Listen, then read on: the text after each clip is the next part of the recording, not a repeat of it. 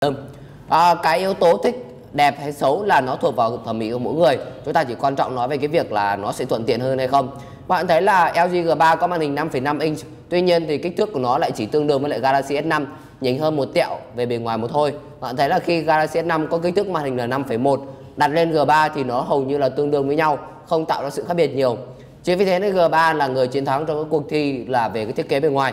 Tại vì nó đem lại cho chúng ta một cái kích thước màn hình lớn nhưng mà có cái bề ngoài nó lại tương đương với những cái sản phẩm có màn hình uh, 5 5 inch. Vì thế nên người dùng có thể thoải mái cầm trong tay, dễ chịu và không bị cấn.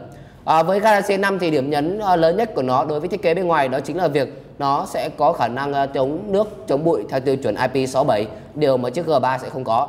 Rồi, bây giờ chúng ta sẽ đi đến với cái phần màn hình. Các bạn đã thấy là đây là ba cái gam màu ở mặc định của mình là màu trắng, màu vàng và màu xanh bên màn hình của Galaxy S5 nổi bật hơn hẳn với gam màu vàng và màu xanh.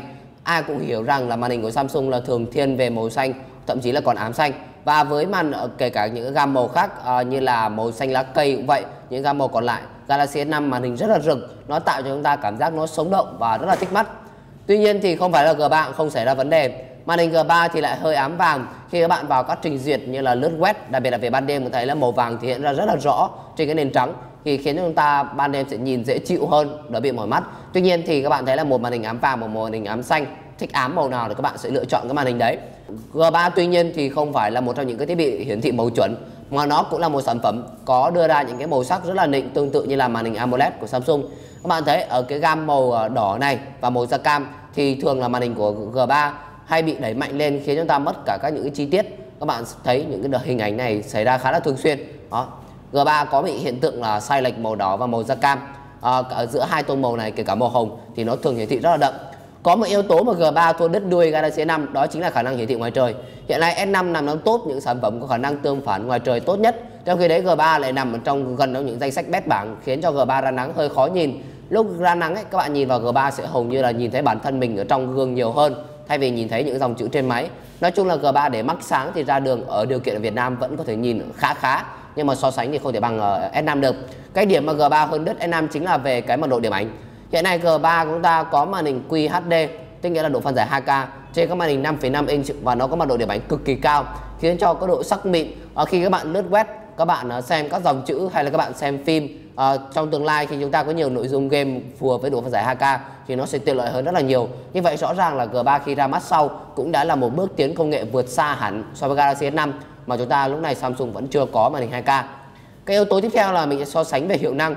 S5 hiện nay của mình là đang chạy cũng vi xử lý 801 tương tự như là chiếc G3 và bộ nhớ RAM của S5 mình chỉ có 2GB còn G3 thì có 3GB RAM, phiên bản chính hãng tại Việt Nam. Mình đã thử vào game Advan 8 xem là sản phẩm nào sẽ có load game nhanh hơn. Rõ ràng là mình rất là thích cái thiết kế của G3 này mặc dù là 5,5 nhưng mà mình cầm tương tự như là 5 inch trên 5,1 trên cái chiếc Galaxy S5 đều có thể sử dụng một tay thao tác đến những cái vị trí tương tự như vậy. LG có một thiết kế cái viền mỏng rất là sexy. Đó, Galaxy S5 vào vào game Advan 8 trước so với G3 khá là rõ ràng. Bây giờ mình sẽ thử qua một uh, số game khác nhẹ nhàng hơn.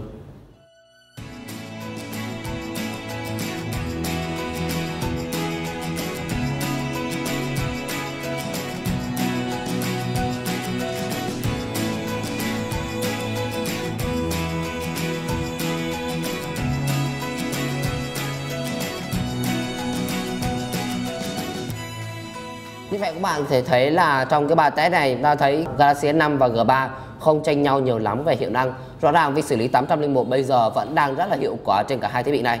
Tuy nhiên thì G3 có một điểm mạnh lớn hơn mà Galaxy S5 phải thèm muốn, đó chính là về bộ nhớ RAM.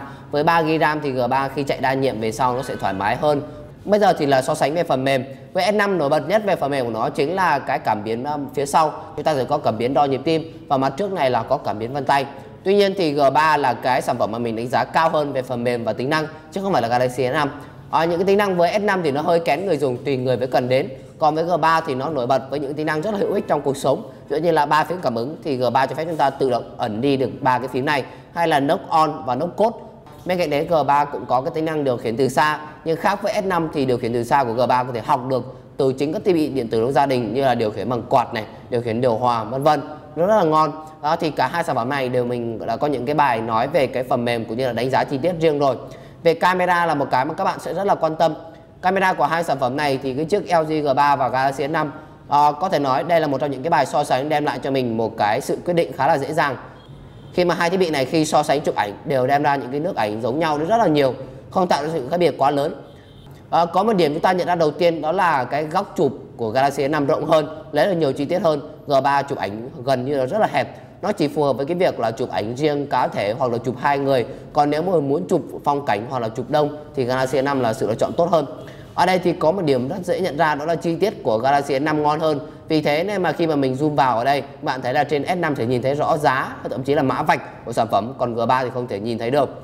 À, gam màu sắc của hai máy thì đem lại khá là đồng đều. À, cái bầu trời ở trong bức ảnh này cũng vậy có thể nói là trong những điều kiện đầy đủ ánh sáng thì cả S5 và cái chiếc G3 này đều đem lại cái nước ảnh giống hệt nhau. Chuyển sang điều kiện chiếu sáng là điều chúng ta quan tâm. Trước đây G2 mình cực kỳ ghét chụp chiếu sáng tại vì nó hay bị bệt màu chi tiết kém. Nhưng lần này G3 thì khác. G3 lúc này chụp có thể ngang ngửa với cả Galaxy 5 trong điều kiện chiếu sáng.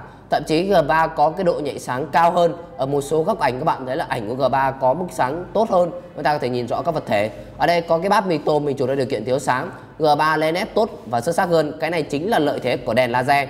Thì với cái việc lấy nét laser, vì thế nên G3 có thể chạm và lấy nét rất là dễ. Còn với S5 lấy nét theo pha, lúc này thì S5 của mình thì chụp thiếu sáng rất khó có thể lấy nét được, mà toàn bị ao nét mà thôi. Và thế nên mà G3 lợi thế hơn về ban đêm là khả năng chụp thiếu sáng của mình.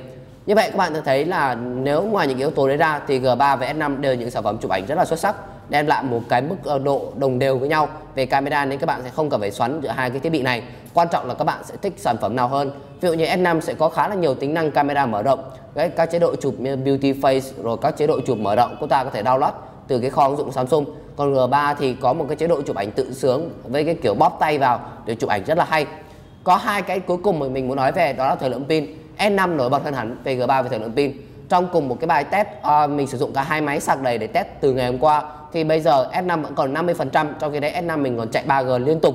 Còn với G3 không lắp sim mà bây giờ chỉ còn khoảng hơn 30% cho thấy là thời lượng pin của G3 bị ảnh hưởng rất là nhiều từ các màn hình 2K còn hơn nữa là Galaxy S5 của mình còn có chế độ siêu tiết kiệm pin để các bạn có thể sử dụng uh, thêm một ngày nữa. Trong trường hợp các bạn khoảng 20% chúng ta có thể nhắn tin nghe gọi một cách bình thường. Galaxy S5 có thể dùng được đến hơn một ngày rưỡi.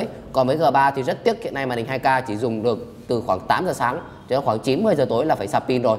Cái màn hình 2K chúng ta khá là tiêu tốn pin về một điều nữa mà các bạn cần lưu ý là nếu mà giải trí âm thanh thì G3 có điểm nổi bật hơn là nhờ loa ngoài rất là lớn khi nghe nhạc xem phim đã hơn so với loa của S5 tại vì S5 có ảnh hưởng bởi tính năng chống nước vì thế nên màng loa vẫn phải có sự bảo vệ.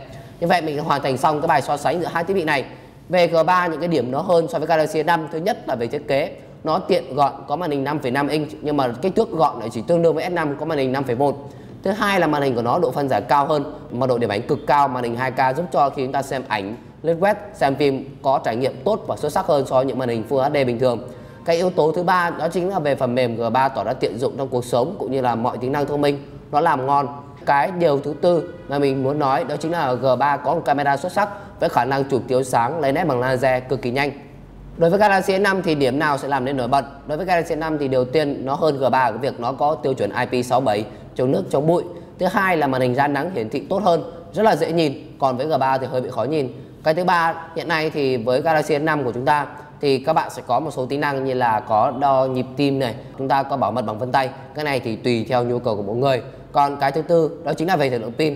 Thời lượng pin của nó tốt hơn so với cái chiếc LG G3 dùng khá là thoải mái các bạn có thể sạc pin và sử dụng được hơn một ngày là một điều bình thường bên cạnh đấy camera của S5 thì có nhiều tính năng mở rộng ờ, đặc biệt hữu ích trong một số trường hợp các bạn để nghịch ờ, với cái camera của mình như vậy là các bạn thấy là với hai sản phẩm này đều có những cái điểm vượt trội hơn so với đối phương và mình hy vọng các bạn sẽ lựa chọn ra sản phẩm tốt nhất đối với yêu cầu của mình.